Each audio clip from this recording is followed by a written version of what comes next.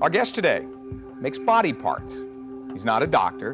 What he does could be earning him millions, actually, in Hollywood. However, Robert Barron helps people disfigured by cancer or fire or birth defects. In his lab, he creates ears, noses, eyes, all sorts of body parts. And when he was with the CIA, Robert used this skill to disguise secret agents whose lives were on the line. But today, instead of concealing identities, he's giving people back their identities. This is a man with a fascinating job and even more so a fascinating story. Please welcome Robert Barron. Thank you.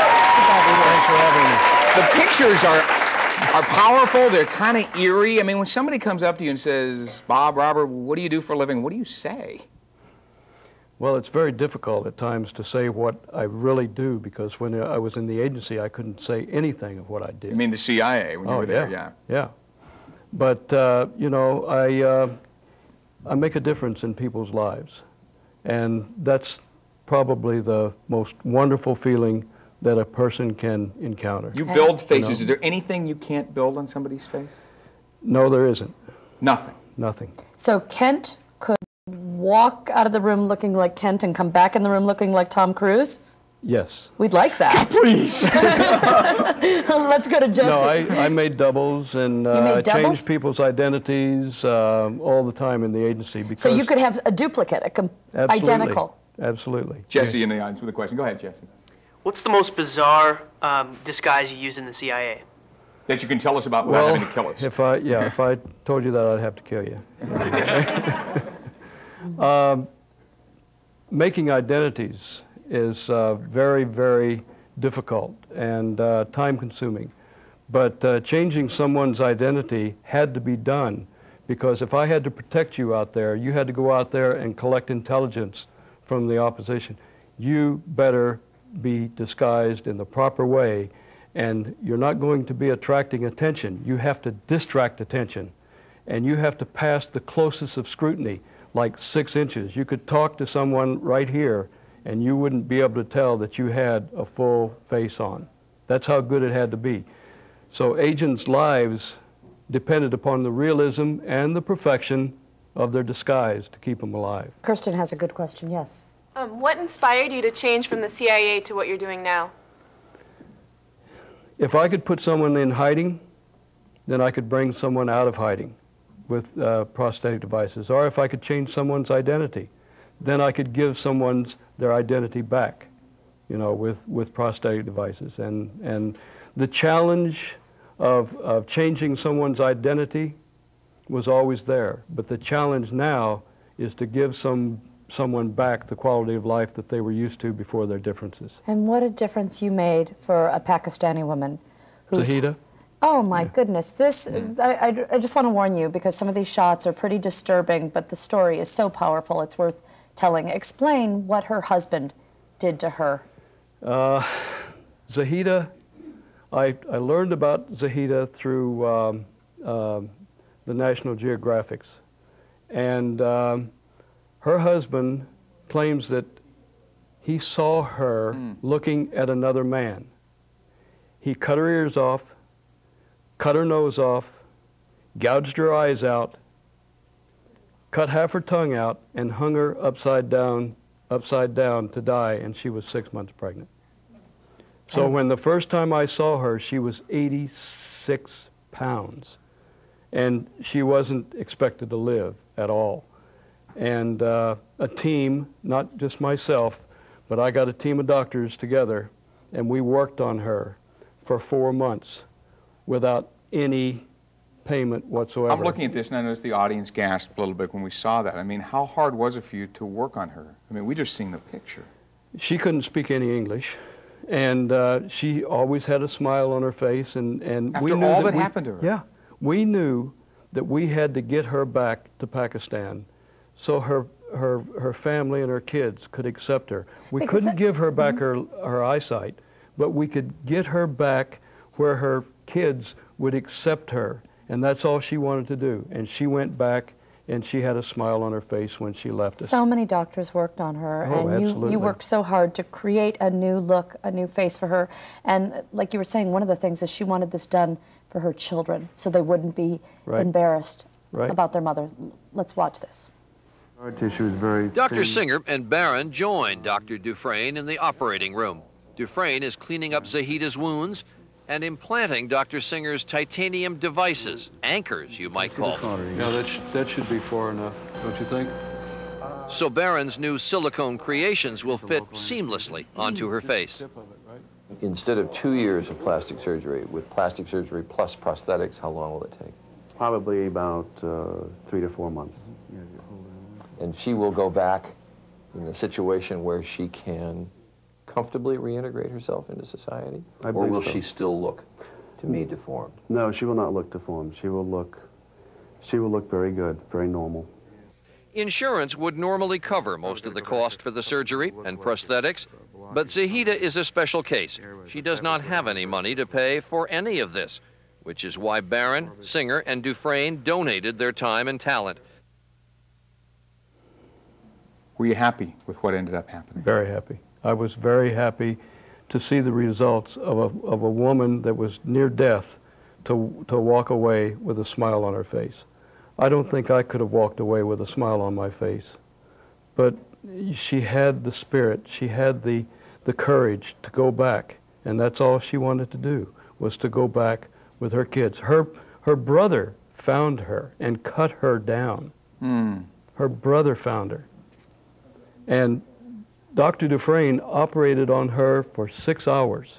Six hours. We And should I see what kind of a difference you made. Let's look at Zahida before. Here she is without her eyes, without her nose, without her ears. And let's look at how she looked after. Isn't that amazing? Thank you. She was a beautiful, a beautiful woman before, but what a difference you made for her, and how sad that she could not see what a difference you made. But she Oh, knows it in her heart, doesn't she? Absolutely, she does. There's a little boy here today um, who you're going to make a difference in his life right on our show. Tell us about Patrick's situation. Patrick's uh, mom and dad um, saw me in uh, Reader's Digest, and uh, they asked me, they, they called me and asked me if uh, I could possibly uh, design and fabricate a prosthetic ear to go over the botched ear reconstructive surgery that, that he had. And uh, I said, yes, I can. And ear reconstructive surgery is, it should be abolished. Um, I don't believe in it. Um, the outcome always falls short of everyone's expectation, and it just shouldn't, shouldn't happen anymore. Well, you got a chance to work on him. He has not seen this You yet. know what? We, His we got to take a commercial seen it. break. They've not seen it, but his ear is It's right this in here. box. And Patrick's going to get his ear in a moment. We'll be right back.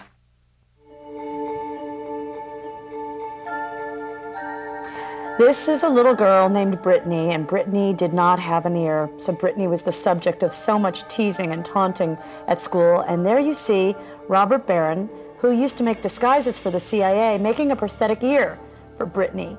And it's not just this moment when she sees herself with an ear that's going to change her life. As Robert will tell you, it's what happens in the days and the weeks to come that is so exciting for these children. And we're about to see that unfold for Patrick. Patrick is here with his mom, Nancy. And Patrick, how jazzed are you about what's about to mm-hmm. happen? You're pretty excited? Oh, yeah. Oh, yeah. how long have you been waiting and wanting to get an ear? Well, I've been wanting for a few years. Mhm. It's a big deal, huh? Were you a little Yeah. worried about going into this, or you thought, nah, this is something I want to do? Uh, a little bit in the middle. Can In you the turn middle? to the side? Yeah. Can you turn look toward me so I can see see. And, and, the ear. describe what I'm looking at, Nancy. What what happened here? This is the result, uh, the final result after two outer ear reconstructive surgeries. He was born with a lot less than this. Uh-huh. Um, he had just a little bit of a ridge. Um, and in order to construct this, they had to take cartilage from his rib. So he, he had a big incision. So you've uh, got in scars on your stomach now too. Yeah, he does. And again, this was the result of two surgeries, and they were quite extensive. You know, they it's not just you add on to the skin; they fold the skin clear back, and you, it's just quite a bit of work involved with doing this. And Are you are you in fifth grade now? How what grade are you in? Um, I'm in fifth grade. You're in fifth grade. Tell me about what happens at school. What kind of do you get teased? Have you for a Um, long time? No, but what does go on when some kids that haven't seen me, they ask me what happened to my ear. I tell them it was born like this, and I went through three surgeries. Your friends are good with it, though, right? Yeah. Yeah. Robert, when you hear this story about the surgeries and things, you're, you got sort of tense there. Does it just make you mad? Oh, it sure does. I mean, the outcome always falls short. And uh, if, you know, doctors, if it were on a personal level, would you operate on your own, knowing that the outcome is always going to fall short of everyone's expectation? That's what I ask, you know? And it's not fair. The problems aren't solved. They, they escalate. And Nancy, when the what's, surgery. what's uh, meeting is- this man mean to you? Oh, it's fantastic. Had I known him before the surgeries even started, we would have skipped the surgeries entirely. Really? entirely. Yes. Did this give hope? Look at did you Patrick right- going, you bet we would have skipped did, those did you right away Yeah. have hope when you met Robert? Oh, yes. Um, the article in the Reader's Digest was about a young boy or teenager who had the exact same problem as Patrick. And so it, was just, it wasn't a nose, it was an ear problem. And I just thought, oh, this is the answer to everything that we've been wanting. What has it done to you as a mom watching what he's gone through without Oh. an ear? It's it's been he's been real good with his friends. His friends have been real good about it, but there are always questions. We walk through the grocery store and people start to stare, mm-hmm. and you know they're wondering. It's just natural, but I want him to be able to play without that being the identifying characteristic instead of saying the boy with the brown hair, oh, the boy with one ear. You know, I don't want that to be what he's identified. Tana's got a question in the audience. Go ahead, Tana. Uh, yeah, I was wondering how long did it take for you to reconstruct his ear? How long did Uh, it take? It all depends on the com- complexity. Uh, it takes anywhere from three weeks to two months. And you're just making, making it from scratch. You're building, Well, taking mo- no, I- molds and that kind of thing. I reversed the image. I sculpt a reversed image. I take an mm-hmm. impression of the normal ear, and with clay, I put a piece of clay next to a stone ear, which is his normal ear, mm-hmm. and then sculpt a reversed image. So I'll get the exact mm-hmm. ear. Mm. And then I turn that mold into a silicone mold, and then I tint it to match the surrounding tissue. But in Patrick's case, I have to make a covering to look like an ear. And that's the hardest thing to do after the attempted surgery, a botched uh, ear reconstructive surgery is performed, as you can see, you know. Uh, but I w- would much rather start with microtia. Microtia is the defective ear that you'll see uh, just in a little while with uh, Jack. Well, uh, Jack is a little boy in our audience who Mhm. can give Patrick even more hope because Jack Jack's waving over has there. gone Jack. through this and he ha- he's living with the results of, of Robert's work, aren't you, Jack? and he's very excited to share some of that in just a moment. And Patrick, we need to take a commercial break, but when we come back, that ear that you've been waiting 11 years to get, big guy, is sitting right here. Guess what? And you're going to get it right after this break, okay? You excited? Yeah. Okay. We'll be right back. Very excited. Robert Barron builds new faces. Take a look at this before shot. After his work, his prosthetics are put on, and you get a completely different look. A man with an ear who didn't have one before. And Robert started this in the CIA, actually, was doing disguises, then decided to help people. Here's an eye, and then, after Robert's work, Wow. can't tell the difference.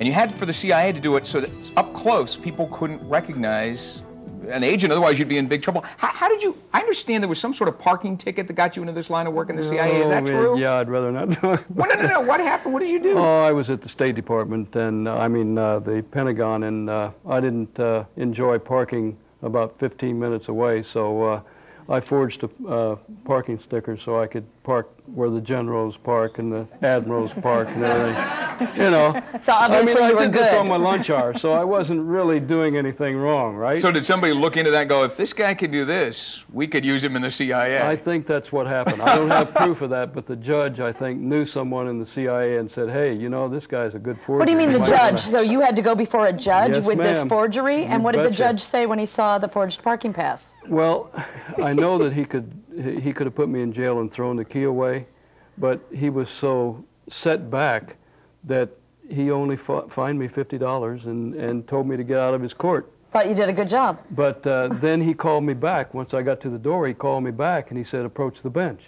and I did. And he said, "Approach the bench," and I got that close to him, and he says, "Darn good job."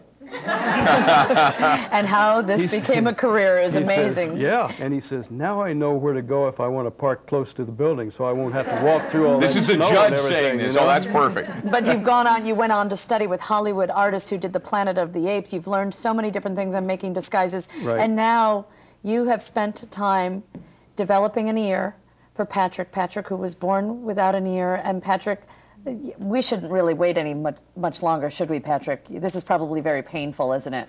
You want this done, don't you? You excited? Oh yeah. Now, Oh, yeah. now, this part isn't painful, right, for him, putting the ear on. So- No, no. So basically, you've made it, now you're going to attach the ears? That, And that's the little girls, you know, if they want their ear pierced, it doesn't even hurt. Oh, that's true. You know? That's right. Bonus. Okay. You ready, Nance? I'm You ready? Okay, go ahead. Ready? Okay. So here explain what go. you're going to do here. I'm going, I've already got the adhesive on the prosthetic device. So I'm going to put it in place and then I'm going to press gently and then this ear will stay in place all day. He'll take it off at night and he'll be able to reapply it in the next morning before he goes to school. But this ear You're going to be the hit of slumber parties, too, This- you know. this ear that I've designed is a covering to go over the ear reconstructive surgery. Can you see that? Look, he's seeing it for the first time. What do you think? Does that You look cool? look, you're allowed to look. Yeah? Okay. Okay, So let's ready? try it on here. You ready, You Patrick? ready, man? Yep. All right. Here This has we got to be a lot less painful than that surgery was, Here huh? we go. Oh, yeah. Yeah, no kidding. I want you to tilt your head just a little bit, and I'm going to get all the hair out of the way here, and I'm just going to put this in place. I'm going to wiggle it, jiggle it until it goes into place, and then I'm going to press down, and I'm going to push it just a little bit, just like that. All right? It doesn't hurt, does it? No. Okay, hold still a minute. There. Let me, let me push. Oh, Patrick, this is so neat. There we go, guy. Oh, you want to see? You want, you, you want the mirror? Here, look at your mom first. Show Let me your mom what you look like so she can see you. Wow. Looks like he was born with it. Doesn't he? Here, why don't you give him the mirror? Can you see? You see? Wanna hold it? You can hold it. Can you see? Yeah. It looks great, doesn't it? Yeah. What do you think? Good. Does Yeah, it feel good. weird or anything? Does it feel kind of odd having it there? Um. A, a bit. Yeah. Takes some getting used to. He'll get used to it. You know, Yeah. and we should probably go to Jack because Jack can tell you what it's like to get used to it. Now, Wanna Jack, look at it again? do you, are both? Did Robert make both of your ears for you? Yes. Yes, he did. Were you born without ears, Jack? I was born without ears, but one ear on this side. Uh huh. Only it was a small one. How much did you get teased at school before you got your new ears? 50 times. Really? Was it pretty rough at school? I heard you used to be shy and didn't want to go to school. Well, kinda. Yeah. Doesn't seem like you're too shy now, right? I'm I'm not shy. Not anymore? Not shy anymore. No. Hey, Mom, talk about the difference because Patrick is just getting this and we're looking at it, but it, describe the difference that came with time for Jack. Jack's always had a really outgoing personality. I mean, he's always been this way. But I think the real benefit is is um, just what Patrick's mom was saying that that's not what people notice about him anymore. You know, they see him, and I think the greatest um, testimony to Bob's work is that they don't notice that they're prosthetics. His own pediatrician thought that um, it was his natural ear. He- Whoa, whoa, he wait a minute. He went to his own pediatrician? Yeah, his pediatrician he's had since he was six months old. Where did he start to shoot the thing in the Yeah, canal he to started take to go try to look in the ear, and I said, "Yeah, he still doesn't have an ear canal." What made you go to Robert instead of the plastic surgery or things like that? Well, originally that's what you think is as a parent that you want something that's permanently attached, that's Mhm. going to be permanent. And then when I start to to see what the results were, I was like, well, you know, that's not not really what I want. And then you look for prosthetics and you type on the internet prosthesis and you find Bob immediately and the work that he's done and you just can't believe that it's a prosthetic. I mean, God has just given him such an amazing gift and that he chooses to use it this way is That's really what's a blessing. Hey, Jack, do you just. Do you even do you even think about your ears now, or do you think about other stuff? Does it even you even think about it anymore? Well, if I go up there, Or if you come up here, you think about it. Yeah, I bet you would. We're going to take a quick break. When we come back, how about a woman who's transformed by an eye that Robert made? We'll be right back. This is Robert Barron doing his job, which is making over people's faces, using prosthetics to take care of faces. This, in this case, creating a new eye for somebody. Just a short while ago, Patrick got a brand new ear and got it fit right on this show. And Patrick, you had a question during the break. Tell everybody what you were asking Robert during the break. would this last through a roller coaster? Whoa, that's a that's a baited question. Yeah, you don't want your ear flying off on a roller Well, coaster. you ride. might want to, you know, kind of go like this. How long will it last? It'll last um, anywhere from three to five years, depending on, upon the. And as he grows, you need another one as he grows and everything Ab- else. Absolutely. I- His anatomy changes. So, you know, I've already have the sculpture. So his, when his anatomy changes, they have to come back so I can take an impression and make the anatomy, I mean, the back of the ear fit Right. the anatomy. You did Again. something wonderful for Vicki Hemingway. Vicki's on the telephone with us. Vicki Hi, had Vicki. nasal carcinoma. Hi, Vicki, you there? Hi, Vicki. Yes, I am. Hey, Robert. now, Vicki, I understand you had seven surgeries, and doctors finally had to remove your nose. And then Robert made an, a prosthetic nose for you. We're looking at the before, uh, when you after losing your nose, and then the difference. Tell us about the difference this made for you as a woman. It, it changed my whole life. What Robert Barron done to me, he gave me a second chance outright. And I'm self-confident when I go out in public now. And Did know, you hide before, Vicki? Yes, I did. Really? Yes. And now you go out and have a good time. You sound Yes. positive. I, I, I'm myself now. What would you like to say to Robert, who's sitting here with us on our on our set? Robert, I just can't thank you enough. My husband and I, you made my dreams come true. He answered my prayers that I prayed for every night, that I would get a phone call, which I did, and that's the happiest day of my life.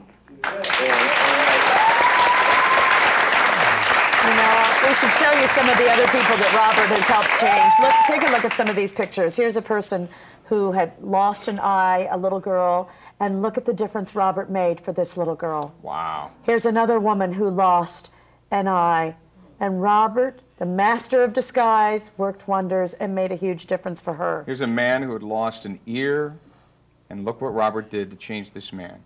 Oh. Much like we just did with Patrick. And here's a, here's a hand. Here's a man who had look at no hand there, and look what happened to this hand with prosthetics. Not just faces, but a completely new hand. As you watch this, Robert, how, how does it treat you? I, I just listen to what Vicki said to you. What, what does that do for you? You almost started to tear up there for a second. Well, you know, I, I, patients become my best friends, and it's just very gratifying uh, for me to be able to help these people. And, you know, it could happen to any one of us at any time. And cancer is a horrible thing. But, you know, I'm just so thankful that I have the talent to be able to give back the quality of life that, that they were used to before their differences. It's just a, such a gratifying feeling. Do you still I- get hit up by the CIA to come back and help them out, or do you get asked by Hollywood to come and do a number for them? Maybe. Oh, Oh, he's not gonna kill us, is he? Always the sly guy. You could, though, on, on a real sense, you could be making millions in, in Hollywood, couldn't you? Yes, I could. But you've decided not to, to do this. No, it, it's, you know, I'm helping people.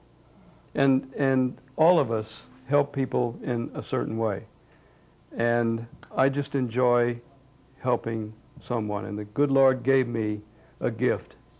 and I believe He's using me. He's going through me to help these people, and that's and that's the way I'm serving Him. We're so happy you came here today and made a difference for Patrick. Is so excited. Thank you, Robert Barron. We'll be right back Thank with you. more of Northwest Afternoon.